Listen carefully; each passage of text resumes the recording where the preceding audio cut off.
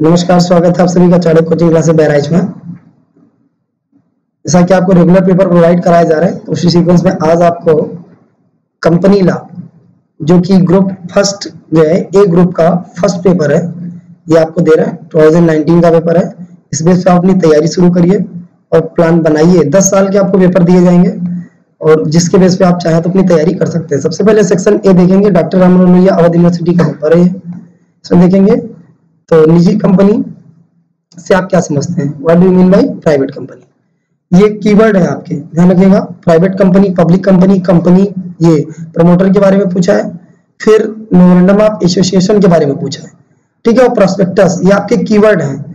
इन्हीं के बेस पे आगे जो सेक्शन बी और सी के क्वेश्चन बनाए जाते हैं। ये सिर्फ़ इतने टॉपिक अगर आप कंप्लीट कर लेते हैं ना तो आगे आपका एग्ज़ाम अच्छा हो जाएगा। तो साथ में आपको भी लास्ट में और भी इंपॉर्टेंट क्वेश्चन बता देते हैं।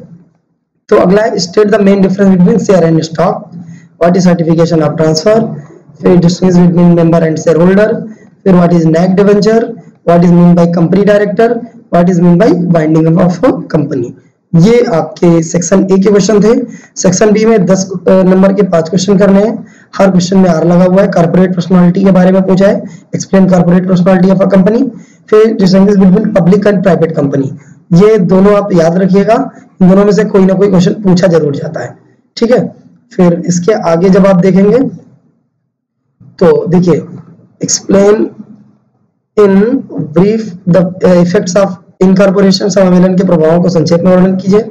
इसके बाद state the main difference between article of association and memorandum of association explain in brief the different type of share and shares के बारे में पूछना है। डिफरेंट टाइप ऑफ़ शेयर फिर नीचे जो है what do you understand by debenture discuss its various type in brief ये डिवेंचर के बारे में पूछा है। इन दोनों में से कोई एक करना है।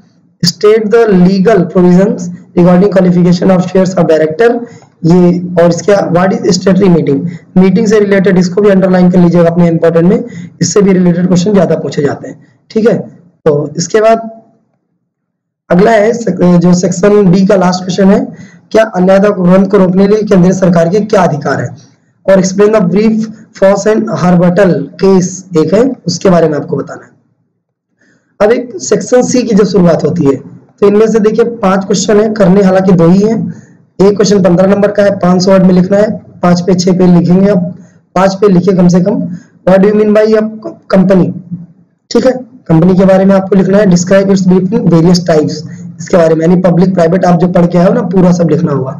एक्सप्लेनिंग इंपॉर्टेंस ऑफ़ प्रोस्पेक्टस हमने भी बताया भी था ऊपर, ये हर साल पूछा जाता है, इसके चक्कर में मत रहिएगा 2019 में जो है पूछा गया, इसका मतलब ये आगे नहीं पूछा जाएगा, पूछा जाता है। Describe the right and liabilities of the member of companies describe the right duties liabilities director फिर how is official liquidator appointed describe his power ये आपके क्वेश्चन थे। तो ये, और इस तरीके से और पेपर पाने के लिए हमारे चैनल के साथ जुड़े रहें। आप लोगों का बहुत बहुत धन्यवाद।